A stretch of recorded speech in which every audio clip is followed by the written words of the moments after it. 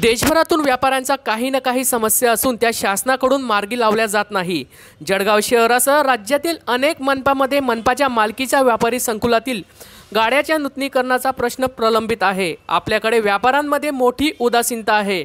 जळगावात स्थानिक स्तरावर व्यापाऱ्यांनी आजवर अनेक वेळा पाठपुरावा केला परंतु त्यावर तोडगा निघाला नाही.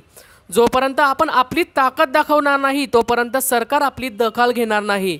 निवेदन देऊन काहीही होणार नाही. न्यायालयाचा निर्णय हा आपल्या विरोधात आहे. त्यामुळे शासनाचे मागे लागून कायद्यात दुरुस्ती केल्याशिवाय मार्ग नाही असे प्रतिपादन व्यापाऱ्यांची शिखर संस्था कॅटचे राष्ट्रीय संघटन मंत्री तथा महाराष्ट्र चेंबर ऑफ कॉमर्सचे वरिष्ठ उपाध्यक्ष ललित गांधी यांनी केले आहे.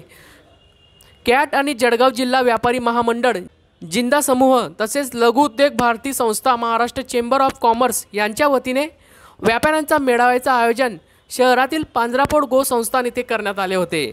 त्यावेळी ते बोलत होते व्यापारी मेळाव्याच्या व्यासपीठावर वरिष्ठ उपाध्यक्ष पुरुषोत्तम टावरी उपाध्यक्ष दिलीप गांधी सचिव प्रवीण प्रगारिया जळगाव जिल्हा व्यापारी असोसिएशनचे अध्यक्ष विजय काबरा कार्याध्यक्ष सुरेश चिरमाडे लघु उद्योग भारतीचे किशोर ढाके महाराष्ट्र चेंबर ऑफ कॉमर्सचे विभागीय अध्यक्ष संजय दादलिका कॅटचे जिल्हाध्यक्ष संजय शहा आदींची या प्रसंगी उपस्थिती होती. उद्योग क्षेत्रात आपण पुढे आलो आहोत पण आज एवढा वेळ व्यवसाय व्यापाराला देतो त्यापेक्षा जास्त वेळ जीएसटीच्या कागदपत्राची पूर्तता करायला द्यावा लागतो आहे.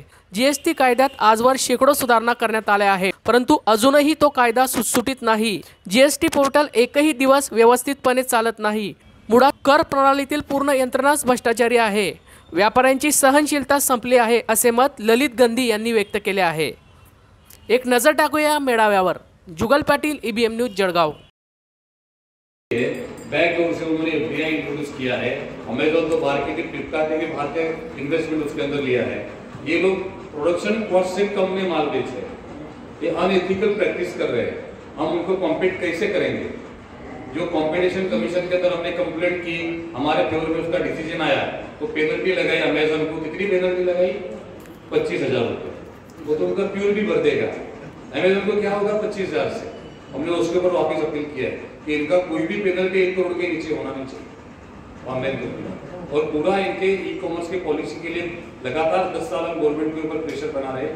अब पिछले साल पॉलिसी है कि उसमें इतने सारे लूप होल है, वो फिर उसका मिस कर रहे हैं। फिर हमने सुप्रीम कोर्ट में केस किया है उसके ऊपर।